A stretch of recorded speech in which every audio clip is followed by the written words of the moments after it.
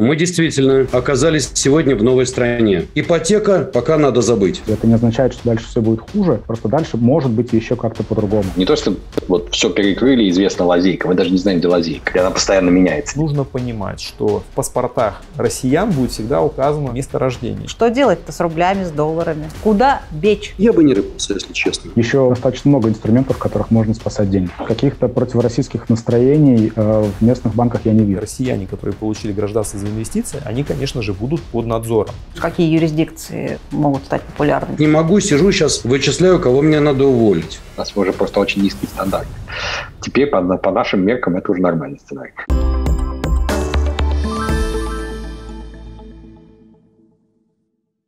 Двадцать четвертого февраля мы проснулись в другом мире. Путин начал на Украине то, что впоследствии запретили называть войной. Ответные санкции не заставили себя долго ждать. Они оказались исключительно жесткими. Замороженные резервы ЦБ, обрушился рубль. Биржа открывается ненадолго и закрывается вновь. Люди забирают деньги из банков. Закрыто небо, не летают самолеты. Вот-вот остановятся грузы.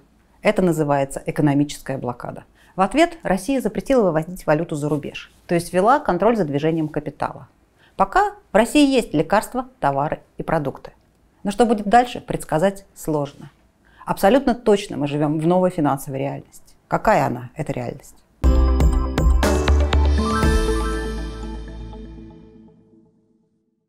Ну, давайте, знаете, пытаемся описать, с чем мы столкнулись. В какой финансовой реальности мы оказались?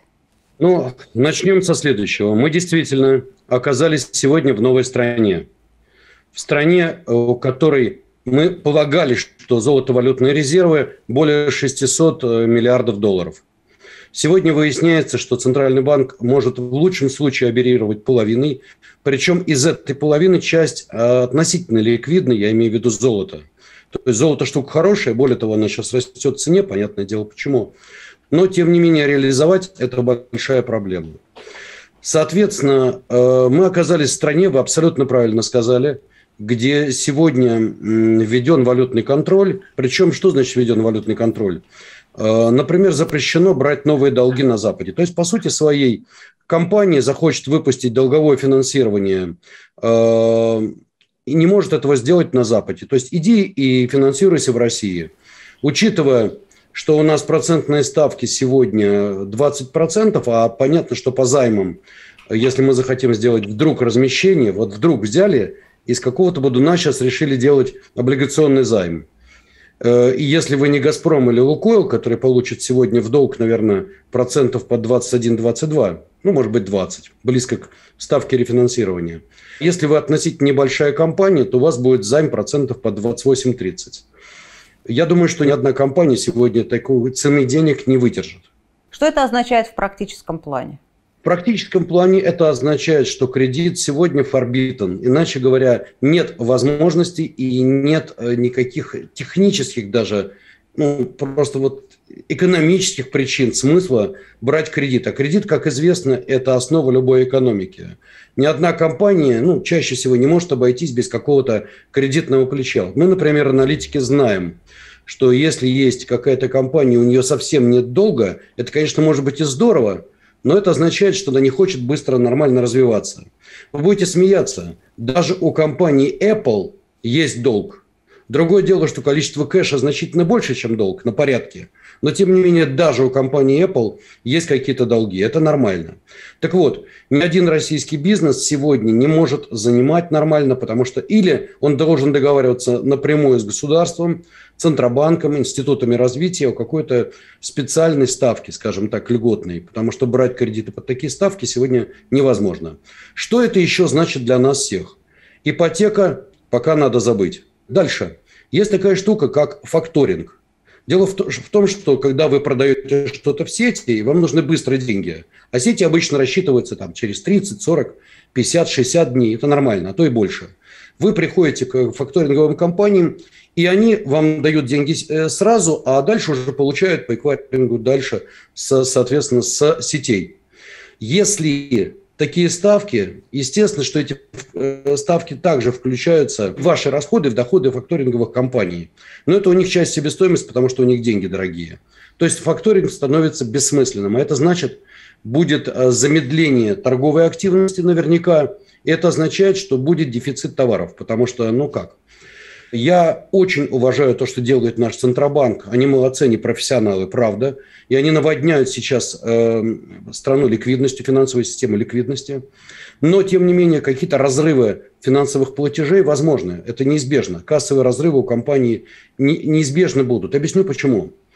Дело в том, что есть такая штука, называется она ковенанты. Ковенанты – это когда ты, например, берешь кредит или э, выпускаешь долговое финансирование какое-то, то у тебя есть определенные причины, по которым э, ты обязан вернуть немедленно. Но это что-то типа вот у тебя дефолт. Но это не дефолт, а именно э, ковенанты. То есть, согласно этим ковенантам, ты вот случилось нечто не, супер неожиданное, и ты должен не, сразу вернуть кредит. Но поскольку 99% наших бизнесов будут вряд ли в состоянии вернуть такие кредиты, мораль, наверное, начнутся э, цепочки дефолтов. Это тоже серьезно. Будут дефолты компаний, наверняка будет расти безработица. Скажу более. Общался с э, одним коллегой буквально вчера. Говорю, слушай, там мы должны с тобой обсудить. Он говорит, не могу, сижу сейчас, вычисляю, кого мне надо уволить. Да, это так.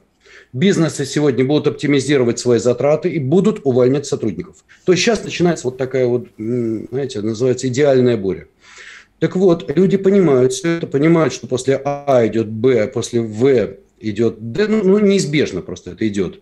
И люди задают себе вопрос, как они будут жить, будут ли они востребованы. И для многих это вопросы мироощущения, своего «я» в этом мире – и, если хотите, своего будущего. Это тоже сегодня стал вопрос для многих. Тот факт, что у Центрального банка заморожена половина резервов, означает что с точки зрения рубля? Задача Центрального банка э, – это поддержание стабильности. И в тот момент, когда рубль слишком укреплялся, окей, мы все ворчали, но тебе, тем не менее Центральный банк выкупал, э, выкупал и выкупал валюту, фактически не давая рублю слишком укрепиться. Ну, для экспортеров это было, в общем, здорово. Понятно. Некая стабильность в одну сторону. Сейчас начинается стабильность в другую сторону. Центральный банк начинает проводить интервенции. Мы это видели. Мы видели, как э, еще неделю назад курс улетал там на 89, и тут же Центральный банк включился, поставил мощную поддержку. Молодцы, так сказать четко извлекли уроки с 2014 года, ничего не скажешь. Чувствуется, что есть в доме хозяин. Вот это чувствовалось на торгах.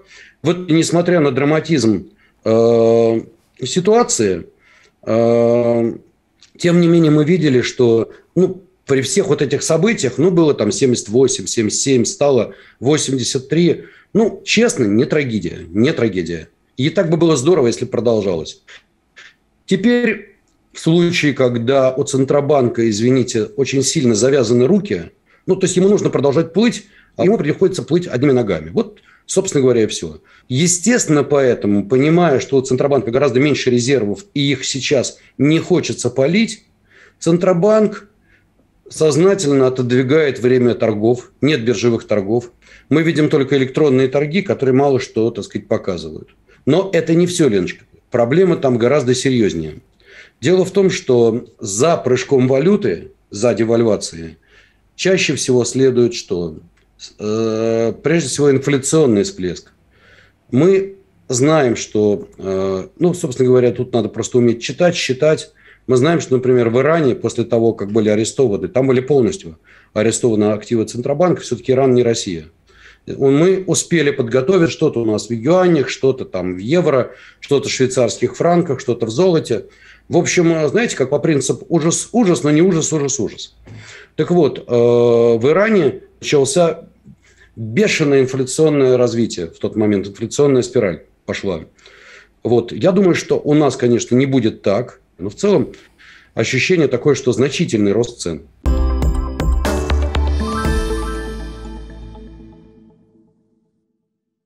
Что за новый финансовый мир у нас теперь сложился в России? Что это, как ты можешь описать эту систему? Он на самом деле только складывается. То есть это не означает, что дальше все будет хуже. Просто дальше может быть еще как-то по-другому. Из того, что мы видим сейчас, какие-то ограничения есть, но тем не менее я бы не сказал, что это там худшая точка какая-то. Даже если все останется так, как есть сейчас, то в общем и целом у россиян достанется достаточно большой э, спектр активов, в которых они смогут э, сохранять и сберегать деньги. То есть это В первую очередь это какие-то вложения в ценные бумаги зарубежные. Раз. Во-вторых, россиянам никто не запрещает покупать валюту. Два. Ну и, соответственно, с точки зрения рублей, мне тоже кажется, что и в рублях сейчас можно найти немалый э, перечень активов, спектр активов, э, куда деньги вкладывать. Поэтому сейчас, по крайней мере, ситуация не выглядит э, критичной, утопичной. И, по-моему, сейчас ну, еще достаточно много инструментов, в которых можно спасать деньги. А Capital Control, думаешь, что это не критичная история для России? Она критичная, она может быть, точнее, критичной. То, что, опять же, как бы, то, что сейчас происходит, оно не выглядит прям сильно такой как бы запретительной мерой, я бы сказал. Да, то есть, э, да, есть ограничения по выводу э, денег за границу, э, и для, для кого-то это, безусловно, станет плохой новостью, но, тем не менее, э, внутри валюты и валютные ценности не запрещены. То есть никто людей там не кошмарит э, принудительной конвертацией депозитов, принудительной продажи валютных активов или еще что-то такое. То есть сейчас э, россияне могут в разных валютах и в разных активах держать свои сбережения. Плюс ко всему у людей есть всегда э, традиционные способы типа недвижимости, хотя мне кажется, что сейчас рынок на фоне ипотеки в 20%, этот рынок немножко замрет. Вот. И второй момент э, – золото, обезличенные металлические счета в банках – раз, и плюс покупка инвестиционных монет – два. Скажи, пожалуйста, вот ваш регулятор в Люксембурге, он что-то вам пояснил, что вы должны сделать со счетами, на которых больше 100 тысяч э, евро? Вы должны их вернуть людям или что? Вы понимаете, что нужно делать? Сейчас все банки взяли паузу, и они сейчас массово обращаются к разным юридическим крупным компаниям, чтобы э, те дали им юридическое заключение на тему того, как себя вести. А текущая ситуация следующая, что все банки трактуют санкции таким образом, что э, вот, э, та информация про 100 тысяч евро, что это касается новых поступлений. То есть э, сейчас ни один банк э, не обсуждал, по крайней мере, даже с нами, э, информацию о том, что текущие действующие счета россиян будут как-то там снижаться до размеров 100 тысяч евро, а остаток, пожалуйста, заберите куда-нибудь. То есть э, такой информации ни от кого из банков нет, мы задавали им эти вопросы, они сказали нет, нет, нет, э, мы понимаем это все иначе, то есть э, в санкциях было написано acceptance of new deposits, то есть принятие, ну, без new просто, принятие депозитов. Вот. Соответственно, они сейчас все трактуют так, что мы новые деньги от россиян в, в сумме больше, чем 100 тысяч евро не принимаем, но при этом, при всем, то есть э, текущие счета у россиян не замораживаются. То есть они активные, и э, этими счетами можно пользоваться. Но, тем не менее, они все равно под пристальным контролем, скорее всего, находятся. Да? Вы же наверняка должны подать какие-то сведения про них. Наша компания, мы не банк, мы финансовые консультанты. Все средства клиентов, они лежат на счетах в европейских банках, на, ну, то есть счета открыты на имя самих клиентов. И если сейчас нечто подобное и происходило, то есть, а, насколько мы знаем, да, там, регуляторы в странах, то есть они смотрят на размеры российских портфелей, они задают банкам эти вопросы, то э, к нам этих запросов не приходило просто потому, что мы у себя никаких денег клиентов не держим. Все деньги держатся на счетах внешних банков. А в целом же, если говорить вот про взаимоотношения, то есть я с банками, то я не вижу э, с их стороны какой-то паники, так что они, что называется, там шашкой машут и пытаются всех все запретить, всем все отказать. То есть каких-то противороссийских настроений э, в местных банках я не вижу. То есть все достаточно спокойно. А вы видите у себя рост э, запросов на перевод денег? Поток увеличился? Огромный был запрос, потому что люди, конечно же, испугались. Э, но проблема заключается в чем? А, счет в Европе открыть занимает приблизительно месяц. А, это раз. Второй момент, что большинство банков не резидентам Евросоюза не открывают счета на сумму меньше, чем 500 тысяч э, евро. Как правило, стандартный чек начинается от миллиона, крупные банки просят 3-5 миллионов, это минимальный чек. При этом, с другой стороны, э, держать на счетах, точнее, получать от резидентов России, от граждан России больше 100 тысяч евро – они не могут. И поэтому процедура открытия новых счетов, она сейчас приостановилась. То есть они никому не отказали в открытии счетов пока что, они просто ну, не продвигают э, этот процесс. То есть сейчас пока все встало. И поэтому те люди, которые приход, приходят за новыми счетами, запросов было действительно огромное количество. А, но по голосу было слышно, что люди просто вот переживают, нервничают и пытаются какие-то быстрые э, такие реактивные э, решения принимать. Но, но после того, как мы объяснили всю ситуацию, что э, это не имеет никакого смысла открытие сейчас этих счетов, пытаться даже сейчас в этом направлении идти, а, ну, собственно, э, все эти запросы уходили куда-то по другим адресам. Потому что санкции ввели Штаты, ввела Европа, но, соответственно, Азия, Ближний Восток никаких санкций в отношении россиян не вводили. Ну вот я как раз хотела спросить, как ты думаешь, какие юрисдикции могут стать популярными? Это будет Сингапур, это будет Гонконг, и это будут Арабские Эмираты.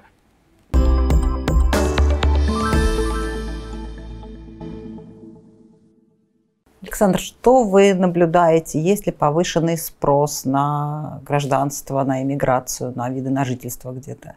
Это первый вопрос. И второй вопрос, что еще осталось?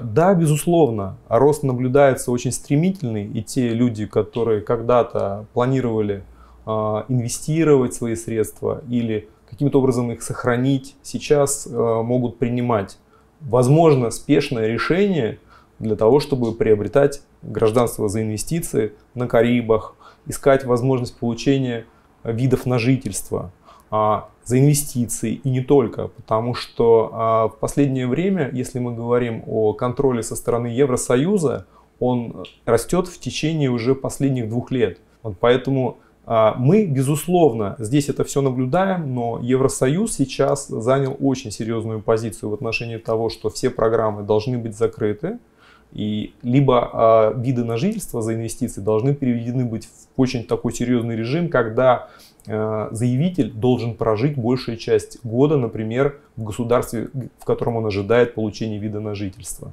Это приведет первое к тому, что он станет налоговым резидентом, что раньше можно было обойти путем того, что ты получал просто карточку в виде вида на жительство, и потом просто фактически приезжал за гражданством после оплаты уже инвестиций. Сейчас же речь ведется о том, что мы готовы унифицировать для всех государств-членов э, процесс выдачи золотых виз. А если вы хотите получать виды на жительство на другом основании, вы можете это делать, но это повлечет все равно обязанность длительного нахождения в стране. То есть, если вы не проживаете в стране, у вас, скорее всего, вид на жительство изымут. Это вот такая тема. А, сейчас даже можно получить визы в ряд стран Шенгена, но а, процессинг, обработка, а процедуры комплайенса настолько стали серьезными, чтобы исключить возможность э, переезда в э, ЕС, э, возможно, вредных для них, как они считают, элементов. Для россиян, получается, опустился железный занавес с обратной стороны? Нет, абсолютного железного занавеса нет в настоящий момент, но государство, я полагаю, что в качестве экстренной меры приняли сейчас решение ограничить доступ россиян, в частности, это Греция, которая приостановила обработку и выдачу э, золотых виз, потому что Греция одна, в общем-то, из близких э, россиянам православная страна, она всегда пользовалась успехом в связи с э, достаточно небольшим размером инвестиций, 250 тысяч евро в недвижимость, которая позволяла многим там жить, находиться удобно. То есть это, конечно, не давало права на работу, но это достаточно удобный был инструмент для того, чтобы ездить в Европейский Союз, а, потому что золотая виза, в отличие от гражданства ЕС, она позволяла находиться и позволяет находиться только определенное время, как Шенген, то есть 90 дней в течение 180-дневного периода. Если говорить о гражданстве, конечно, те, кто успели его получить, они, безусловно, а, выиграли очень многое сейчас. Они могут свободно проживать в любом государстве-члене ЕС, пользоваться финансовой системой. И почему я говорю о финансовой системе? Потому что регламент Совета в редакции от 25 февраля, он установил запрет для граждан России, юридических лиц и организаций, учрежденных в России, иметь депозиты свыше 100 тысяч евро на граждан ЕС с российскими паспортами или с видом на жительство в ЕС таких россиян, на них такие ограничения не распространяются. Однако существует момент такой, что все банки, кредитные учреждения ЕС обязаны предоставить своему национальному регулятору данные о том, что россияне, проживающие или э, находящиеся в России, но имеющие золотые паспорта или золотые визы, они должны быть в информационном поле. Э, я предполагаю, что это сделано с точки зрения осуществление мониторинга над тем, чтобы эти состоятельные лица, которые смогли позволить себе купить золотые паспорта и золотые визы, они не смогли быть инструментом обхода санкций или не смогли содействовать, собственно, государству Российской Федерации или ее корпорациям, или должностным лицам, или олигархам в помощи обхода санкций. Поэтому, если говорить о рынке вот инвестиционном, то он существует, но в ограниченном, как говорится, э, виде сейчас – а Мальта полностью прекратила принимать по новой программе а, гражданство за особые заслуги, которая критикуется Еврокомиссией и в отношении которой Еврокомиссия не снимала требования прекращения ее. Потому что нужно не забывать, что в 2020 году Еврокомиссия начала официальное расследование и готовится к суду против Мальты, Кипра и Болгарии за выдачу э, золотых паспортов. То есть эта история, она еще больше усугубляет всю эту ситуацию на рынке ЕС. То есть э, Португалия, золотые визы которой широкий э, спрос имели в последние два года в связи с тем, что э, Португалия нейтральная страна, а, достаточно, в общем-то, благоприятно для россиян, для украинцев, для всех славян и выходцев из СССР – а они сейчас приостановили а, рассмотрение всех заявлений, поданных гражданами России, для того, чтобы оценить, кто может быть слабым звеном или кто может э, вызывать вопросы, как говорится, в отношении национальной безопасности. Португалия... Как они оценивают? Они смотрят связи с госорганами, с госкомпаниями? Да-да, именно так и происходит. Я Исхожу из того, что в ближайшее время в ЕС будет сформирована база всех нерезидентов, которые получили гражданство и золотые паспорта за инвестиции. К счастью для ЕС, все э, граждане э, золотыми паспортами, они действительно э, на особом счету в каждом государстве. Есть отдельные списки, они публикуются.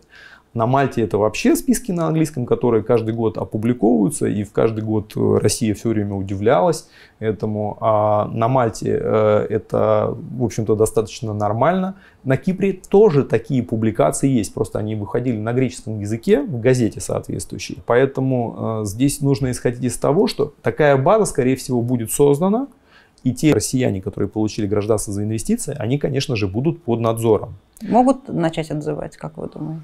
Я полагаю, что э, слухи об отзывах, они имеют, конечно, под собой какие-то основания. И если мы говорим о массовых отзывах, я исключаю, что массовый отзыв является э, цивилизованным ответом на события, которые мы наблюдаем. Но если говорить, собственно, о э, возможности этого сделать, это крайне сложная процедура. Это единичные э, возможности для каждого государства. Последним Болгария делала подобное освещение, и там порядка только 11, по-моему, гражданств было отозвано. И больше, как правило, отказываются от гражданства в одном случае, если а, люди переезжают в государство, которое не допускает наличия множественного гражданства. Отзыв на Кипре может быть произведен по нескольким основаниям. Если были поданы ложные какие-то данные, которые нарушают требования закона. Второе, если лицо, получившее гражданство, не проживает на Кипре, по-моему, более 7 лет, в этом случае это тоже может быть отозвано. А, и третье, сейчас э, вопрос э, подсанкционности лиц, он, э, к сожалению, не находится на публичной поверхности. Да, а, претензии возникали в отношении известных россиян с кипрскими паспортами, но публично неизвестно, был ли отзыв произведен или нет. Ну, Латвия грозила Уавина отозвать гражданство.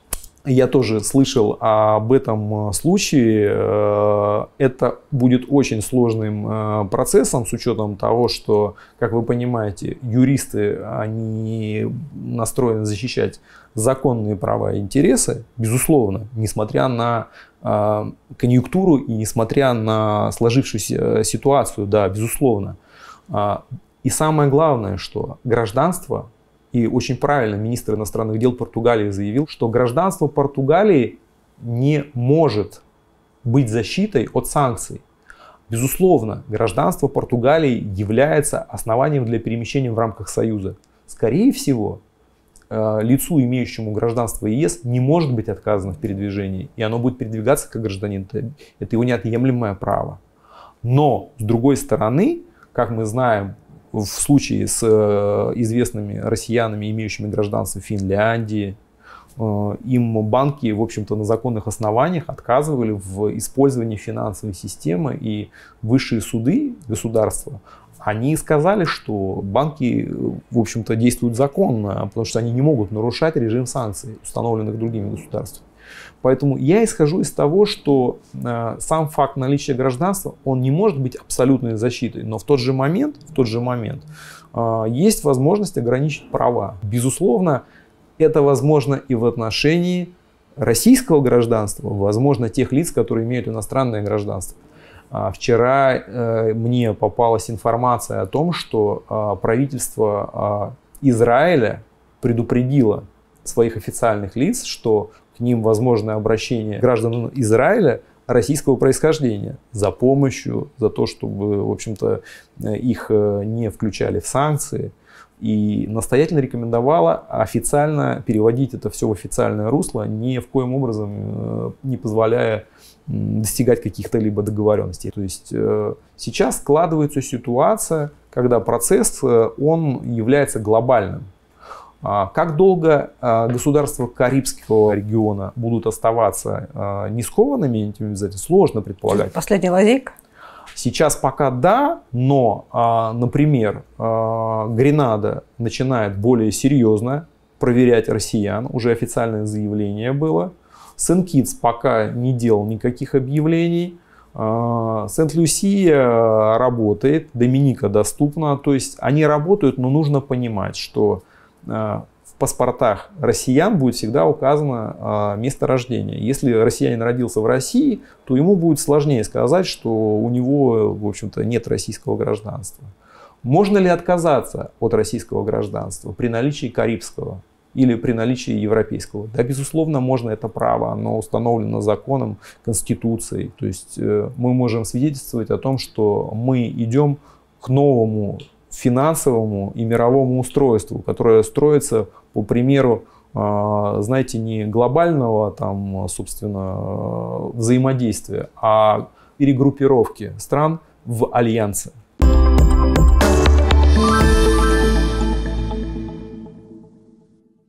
Главный вопрос к вам. Что делать-то с рублями, с долларами? Куда бечь? Давайте начнем э, потихонечку. Давайте начнем с рублей.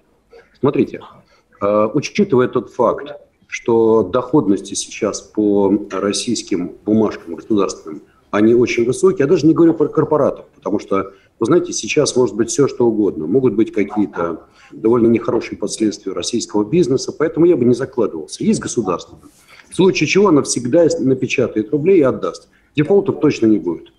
Так вот, доходности по российским бумажкам, исходя из ставки рефинансирования, скорее всего, будут в пределах 18-20, э, может быть, даже больше процентов годовых. Знаете, это неплохая доходность. Давайте мы с вами немножко рассчитаем. Допустим, девальвация. У нас с вами за три года будет, ну, допустим, даже 100%. Было вот не так давно 75, станет 150, допустим. Берем бумаги с доходностью, например, ну, какие-нибудь пятилетние, с доходностью там чуть больше 20% годовых, наверное, столько будет. С учетом процентов на процентов мы получим только купонами в этой ситуации как минимум процентов 65. Но это не все. Дело в том, что ну, не бывает так, что кризис длится очень долго. Через год, через полтора, через два инфляция, скорее всего, начнет снижаться. Шанс на это есть. Цены на бумаги начнут расти. И тогда вместо 65% вы можете получить и 80, и даже 100%. Таким образом, полностью или частично отбить девальвацию. Наверное, это не так плохо. Поэтому это может быть спокойное, взвешенное решение. Государство всегда заплатит, и даже в этой ситуации и резервов все равно много, и запасов много. А главное, понимаете, такие цены на энергоносители, вряд ли что-то будет плохое. Итак, это рубль.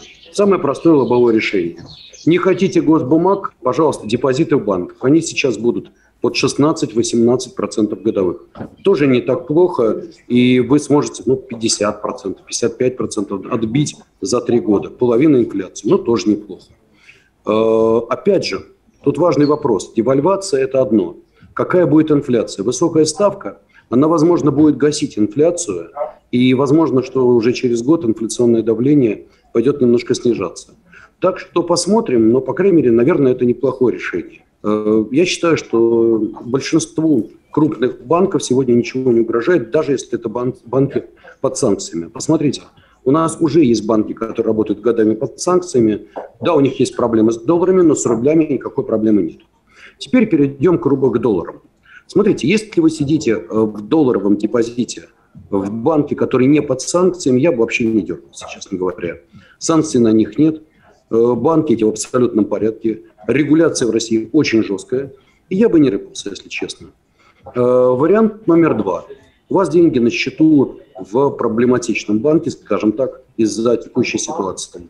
Э, лучше перевести, наверное, все-таки в другой банк, открыть счет, банк без проблем. Не будут переводить. Такое тоже возможно. Теоретически есть такой риск, что банки не будут спешить исполнять поручения такого рода. По разным причинам, неважно. Но, вы знаете, самое, наверное, рациональное решение, да, вы можете потерять, но это как бы будет неплохо. Э, взять и конвертнуть это дело в рубль и уже рублями перегнать на счет в беспроблемном банке.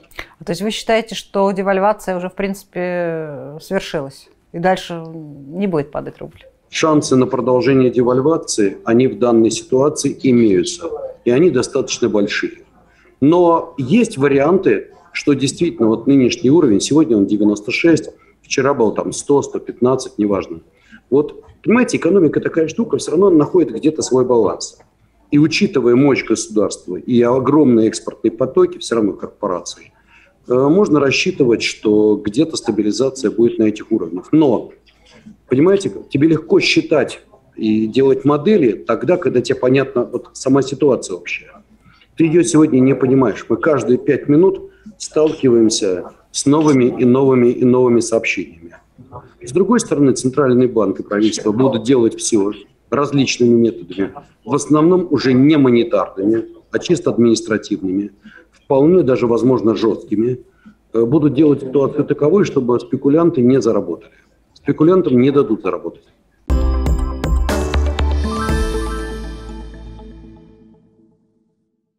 Никто не ожидал, что заморозят э, резервы Центрального банка, что отключат э, корреспондентские счета, что посадят самолеты, остановят грузы. В каком мире мы оказались? Можете как-то его описать? Что это за экономика? Ну, на данный момент это экономика полной неопределенности. А, то есть мы, мы, считали, мы считали два года назад, что пандемия нас уже э, ввела в экономику неопределенности на сразу весь мир. Сейчас, на самом деле, э, в каком смысле похожая ситуация, только она конкретно для России. Э, когда абсолютно непонятно, откуда, как будут развиваться дальше события. Потому что, действительно, я думаю, что вот санкции против Центрального банка, они сыграли просто гигантскую роль потому что именно потому что все обсуждали санкции, все примерно знали меню, а, там думали, когда будет твориться э, одно, потом другое, как эскалироваться. Но вот введение таких жестких санкций против Центробанка – это вещь, которая ну, рассматривалась как какой-то абсолютно конечная э, точка, и поэтому это был легкий шок. Не легкий, на самом деле. Он был действительно полный шок. И сейчас действительно основное то, что люди просто даже не понимают, чего, чего ждать. Вот это, я думаю, даже больше большую роль, чем, собственно говоря, сами санкции. То есть что вот там с полетами, как бы не то, что вот все перекрыли, известна лазейка, мы даже не знаем, где лазейка. И она постоянно меняется динамически. То же самое с банками, непонятно, сегодня один банк, завтра другой.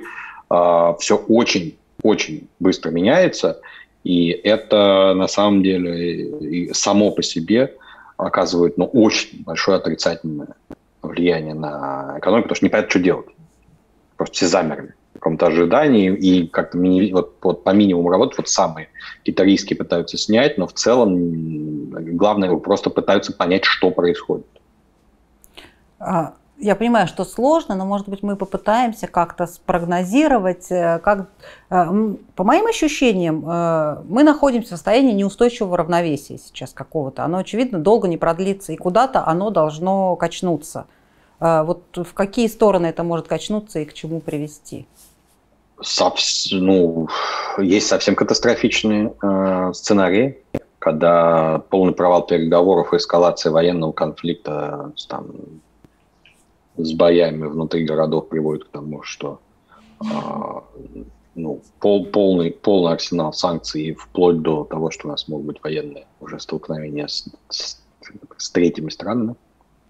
А, это катастрофичный сценарий. На самом деле. Третья мировая. По сути, Третья мировая, да. Средний сценарий – это того, что мы завязываем в этом конфликте, но без эскалации. Это означает, что, по сути, вот в таком вот а, режиме, как сейчас мы Россия остается, мы становимся очень большим экраном таким э, с отключенным Центробанком, полностью изолированные. И все, что, все, что будут пытаться делать с Россией, это максимально ее изолировать, э, чтобы она никого не трогала. Э, с постепенным диверсификацией энергоресурсов, так, чтобы от России получить все меньше и меньше со стороны Европы, ну, что-то где-то будет перенаправлено нами в Китай и так далее, но полностью не будет компенсировать. А, ну и по уровню жизни вообще будет все ближе, ближе к Ирану. Но это сценарий Ирана. Это Иран, да. Это сценарий Ирана. Есть а, более оптимистичный сценарий того, что какой-то компромисс находится в ближайшее время. А, и все санкции не уберут, это очевидно. Санкции очень легко вводятся и очень тяжело убираются какие-то те наиболее болезненные для наших партнеров, для Европы и Америки, они будут первыми убраны, а, но очень много санкций они останутся. А, это такой средний э, как бы, э, сценарий, такой, ну, более-менее нормальный, но в смысле, у нас уже просто очень низкий стандарт. Теперь по, по нашим меркам это уже нормальный сценарий. А, хотя он тоже означает, что Россия, ну, по, по сути, отрицательный экономический рост она находится в полуизоляции, но не Иран все-таки. улучшение взаимоотношений, какое-то что-то, что может подтолкнуть прям к росту, это, ну, это требует каких-то очень больших социально-политических изменений в России. Полного перестроения существующей, э, существующей системы, и это очень сложно предсказать. В том наиболее оптимистичном сценарии, который обрисовали – а, как можно описать экономику России там, в ближайшие годы? Это что? Это инфляция, это гиперинфляция? Гиперинфляция, надеюсь, не будет, потому что все-таки гиперинфляция – это ошибки центральных банков. А, инфляция, да, внешние шоки, они могут вызвать инфляцию. До тех пор, пока вы не начинаете там условно финансировать э, государственный бюджет, печатая деньги, гиперинфляция не развивается. Это высокая инфляция, это резкое падение э, уровня жизни, экономики и, и, и дальнейшее резкое, резкое падение и дальнейшее... И дальнейшее медленное падение. И дальнейшее медленное, но верно, да. Вначале бам, а потом медленно, наверное, продолжаем отставать. Э, и даже не так медленно, достаточно быстро продолжаем отставать, потому что сейчас технологии быстро развиваются, а мы будем полностью отрезаны. Э, мы будем догонять э, технологии десятилетней давности. Э, поэтому даже этот средний сценарий, он так себе. А вот если немножко поговорить про технологии, технологическое развитие, мы начали уже чуть-чуть, что догонять будем, да, вот в каких местах там у нас могут быть такие большие отставания? В электронике самое большое, мы будем все отставать, но она движется, она, это, она движется вперед с диким темпом. И, и Китай, который, который остается единственным нашим по сути, будет э, источником этих технологий, он сам отстает, на самом деле, по большинству из этих технологий. Поэтому тоже рассчитывать не, не приходится. Они будут дальше, чем мы уже. Мы до этого дожили. Э, то есть что-то они нам могут передавать, но в ограниченных количествах. Поэтому вот э, эта часть, вот, вот если резервы Центрального банка все происходит в моменте, вот это вот резкое падение, то все, что связано с технологией, это медленно, э, это не медленно, это среднее такое скорости отставания впереди, причем по таким вещам, которые, знаете, мне кажется неочевидными. Я так понимаю, что у нас с семенами даже проблемы у сельского хозяйства. Мы семена закупаем. Эм, поэтому вот, вот начиная с электроники, там и этих лазеров, кончая семена. Интернет тоже не наша технология, видимо, заново придется придумывать. Нет, интернет – это технология, которая 30 лет, это пожалуйста. Это мы можем. Вот такие технологии мы можем. А, с 3G у нас тоже все будет хорошо. Даже 4G у нас все будет хорошо. С 5 будет хуже. А, даже с 5 может уже ничего, потому что это тоже старая технология. Достаточно. А, но вот новыми, ну вот мы все время будем, мы сейчас на один так отстаем, через пять на два, на три. Ну, по нарастающей. Если эти э, переговоры все-таки завершатся успешно, я полагаю, что какую-то часть из наиболее жестких санкций могут снять. Они приняты не, прави... не решениями Конгрессов, они приняты просто правительствами, они приняты в таком порядке, который достаточно легко отменяется. О, как Мы помним с вами санкции имени Джексона Велика, помните? Это еще да, те, да. из того нашего советского времени. Так вот, отменялись они там годами, десятилетиями. Почему? Они были приняты парламентами. И было очень сложно из-за внутриполитических различных проблем э, протащить их отмену. Так вот, нынешние санкции, вот последние, они наложены в таком порядке, что отмена их не требует каких-то жестоких и долгих и мучительных согласований и процедур. Поэтому мне кажется, что есть шанс, еще раз говорю, не хочу говорить слишком оптимистично сегодня, это было бы непрофессионально, но в случае определенных договоренностей, возможно, часть санкций будет снята, и тогда, опять же, базовые условия э, для бизнеса, для всего будут уже другие.